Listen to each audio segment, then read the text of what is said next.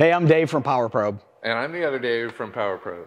We brought out the new draw monitor and we've had a lot of questions about specifically how it works. So today we're going to go through a couple of more detailed explanations of the tool and how it connects. Dave, what are we going to get into? So this is a tool we've got that's going to make your parasitic draw drain testing simple, quick, and easy. Um, we've got a couple of things here. First one we're going to start on is 2004 GMC Yukon, which definitely has a battery drain. The battery will go dead if it sits for a week or two. So we're going to go step by step through the parasitic drain diagnostic process. After that, I'm sure you'll be asking, it's great on a 20 year old vehicle, but what does it do on something more modern? So we have a two year old Volkswagen we're going to jump on after this one so you can see it in action on that too. Check it out. So when using the Power Probe draw monitor, this is going to connect to the car's DLC and supply power to the vehicle and give you that current draw reading. Now, you could use traditional methods using a, a normal multimeter and wiring it between the battery and the battery cable, but that can be sometimes difficult without losing a connection. For example, this side post battery, if you see, it's going to be nearly impossible for me to keep the meter connected to the battery and the cable while I'm disconnecting it. So I'm going to lose power at some point and possibly reset my problem. Using the Power Probe draw monitor, I'm going to have continuous power. This will supply power before I disconnect the battery, so there'll be no interruption in power. You're not going to reset anything. All right, so we're going to connect the draw monitor to the car's DLC. And you should immediately get a voltage reading when you first plug it in. That is your battery voltage, the vehicle's battery voltage. And if you don't have a reading at this point, that means the fuse to the power port on this connector is probably blown and that needs to be fixed first. So make sure you do have a voltage reading from the car's battery. Um, then you're, go, you're ready to go ahead and hit the smart output button. Now this tool is going to supply power to the vehicle. Um, it's zero right now. You may see some current reading at this point, even before you've disconnected the vehicle's battery. And let me turn smart output out. It depends on what the vehicle's battery voltage is. Right now, the vehicle's battery is 12.6 and my output voltage is 12.6. So they match. There's going to be no current flow. But if your vehicle's battery was low, for example, 11.8 volts, it's going to want to draw a little bit of current at this point. So you may see a current reading before you've disconnected the battery, but that's not going to be an accurate reading. For the readings to be accurate, the vehicle's battery must be disconnected. All right, draw monitor's connected, smart output's on. I'm going to close the vehicle up. Got the window down so I can still get to it. Lock the car. Then we'll go out and disconnect the vehicle's battery. All right, we'll disconnect the battery, negative battery cable in this case. Get it out of the way. And now if you look at the draw monitor, there's our live draw reading. It looks like everything's starting to settle down. We're down at about 69 milliamps. Still a little bit high. And it's bouncing up to in the 80s. So although it's a small drain, that is higher than specifications. So that we're gonna move to our next step of locating the circuit that has the actual drain.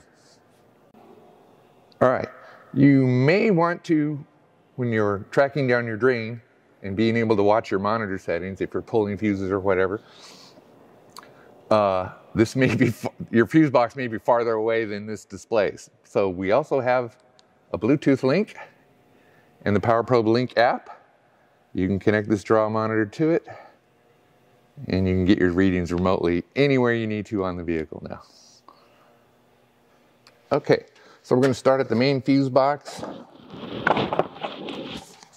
Now the old school method, most technicians would typically start pulling fuses one at a time and seeing if their draw dropped.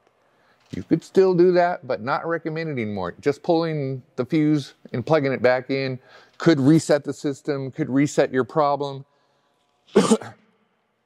so the newer technique is to actually take a digital voltmeter. You set it in a millivolt range, a low range, and you connect your two probe tips across each fuse. If you have a zero reading like we do here, get you a light. If you have a zero reading like we do here, uh, that means there is no current across that fuse. That is not an active circuit. That's not your problem. But you can go around all the fuses. And at some point you may find one that is not a zero. Oh, like this one here. So I know this is an active fuse. There's some current going across this fuse. Now this measures 0.3 millivolts and we have fuse charts that can convert this millivolt reading to an actual current reading depending on the type and size of fuse that are available for download on our website. Now one thing to note, when using the PowerProbe draw monitor, it's coming through the OBD2 fuse or normally is a cigarette lighter fuse. So when you're voltage drop testing your fuses, you may find one. I believe it's this one here. Yep, that's an active fuse, but that is the one for my OBD2 port power. Do not confuse this as an active circuit drawing power because it's got power coming through the vehicle from the power probe draw monitor, it's coming through that fuse. So that fuse is particularly power going into the vehicle. So if you if the fuse you see that is active is the one that goes to the cigarette lighter and or OBD2 port, ignore that one as far as that's not your draw.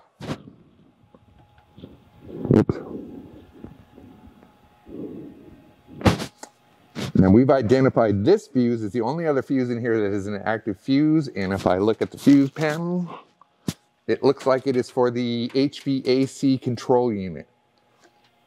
So we're going to do a little more further diagnosis. We'll pull up some, some schematics and see what's on that circuit, and we'll go from there.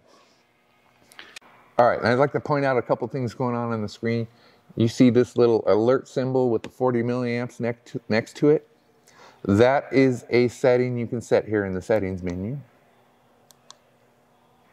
So you can set that alert to go off anywhere from 40 milliamps. I believe it's up to 9 amps which you better never have a drain that high. But, but so you can set that at whatever is a desirable cutoff limit for the vehicle you're working on.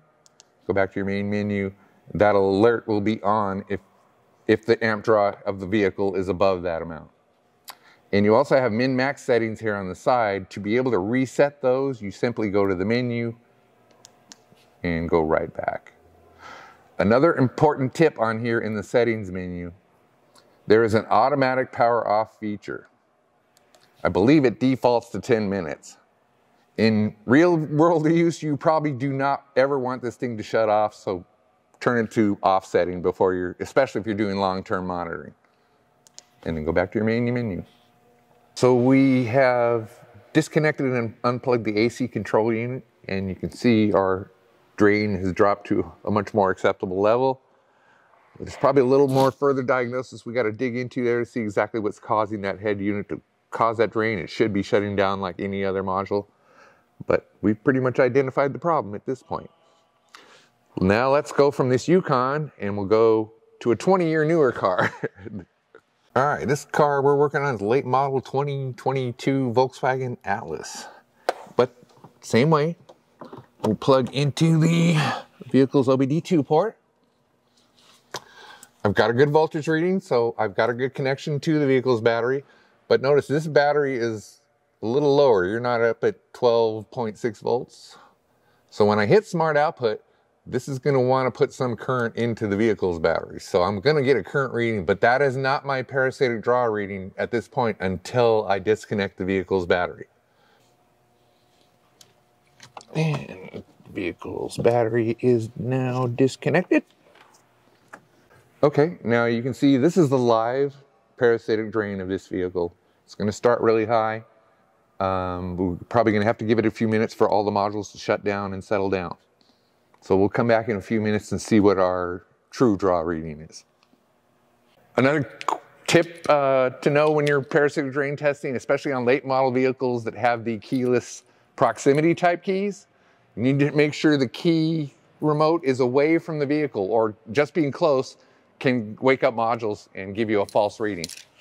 Okay, so you can see the total drain on this vehicle. Once everything, all the modules have settled in and gone to sleep, we're bouncing around between like 10 and 20 milliamps, but well below the 50 milliamp threshold most manufacturers recommend.